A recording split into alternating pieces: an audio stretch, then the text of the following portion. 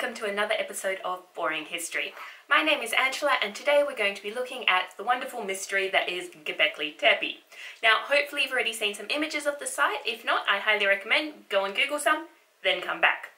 Now the other thing, because Göbekli Tepe is one of those sites that has about 5 billion different theories around it, anything from aliens through to Atlantis, I just want to point out that by no means am I an expert, so Feel free, have your own opinion, do your own research, that's all good.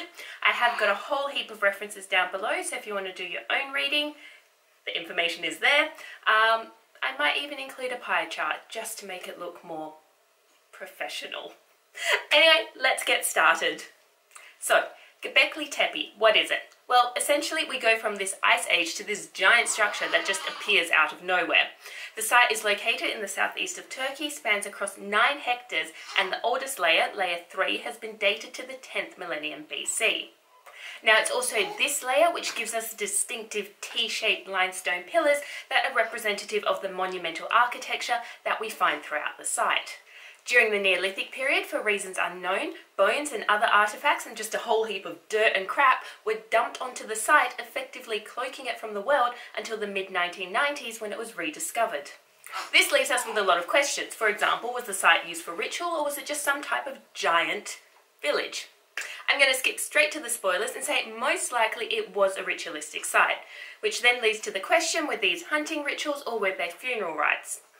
Again, well, let's get to it, and most likely they were both. Today I'm going to be focusing on the funeral rite side of things, just because that's what I find interesting.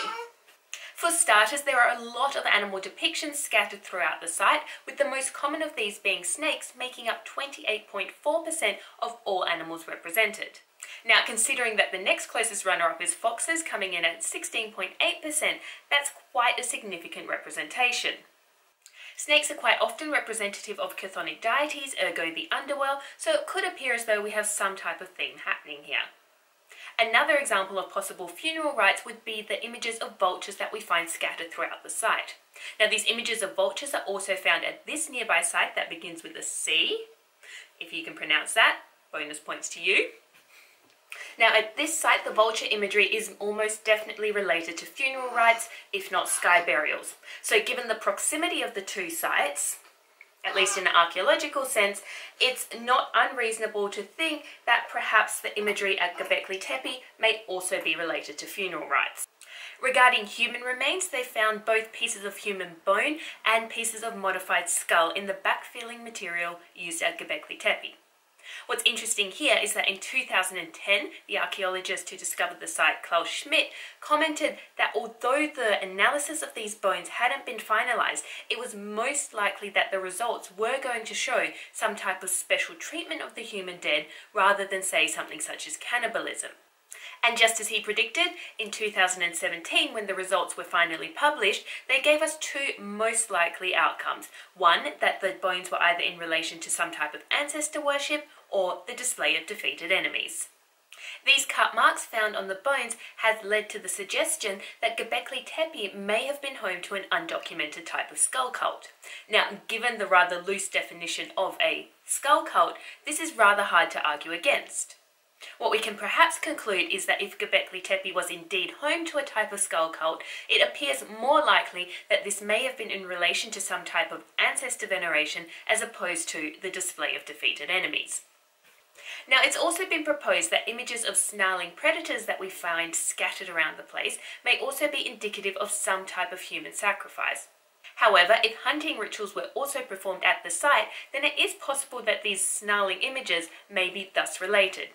Or if we look at these images in relation to say something like those from Tibet relating to sky burials, we can see that even though images may sometimes appear aggressive, the ritual behind them isn't always necessarily so. We should also remember that other human bones have been found in addition to the skull fragments, which suggests that whole bodies were also buried around here. So to date, there is no archaeological evidence which supports the theory of human sacrifice at Göbekli Tepe, and the human remains that have been found align with those found at other pre-pottery Neolithic sites. It's also important to remember that the origin of the backfill in which most of the bones were found hasn't been confirmed, and it's likely that it was collected from the surrounding plateau. Therefore, whilst we can't rule out the intentional inclusion of these bone fragments, it's also possible that maybe they just had absolutely nothing to do with the imagery found there. Maybe. And there we have it, a very brief overview of Göbekli Tepe. What's our conclusion? Well, I guess in order to understand the treatment of the human physical remains, it's imperative that we understand the beliefs that prompted their treatment. Until we understand these beliefs, everything else is just speculation.